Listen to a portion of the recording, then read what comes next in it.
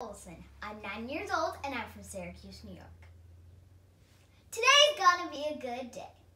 Oh yeah! A goody good good day. All day. Good, good, good, good. Hmm. What am I going to do with myself today? Should I go for a walk? What if I made myself a snack? Mm.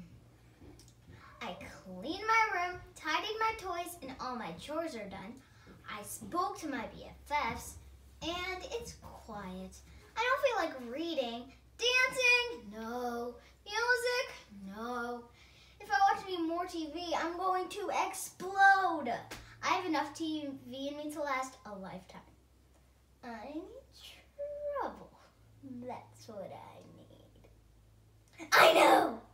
I'll do pranks and argue with my brother over something ridiculous. That will spice up my life. I'll argue with such venom. I will, I will, I will. There must be something wrong with me to think such thoughts. There must be.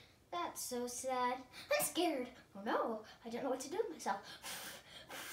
What? I used to be able to whistle. My lips must have reformed. Can that happen? I got it.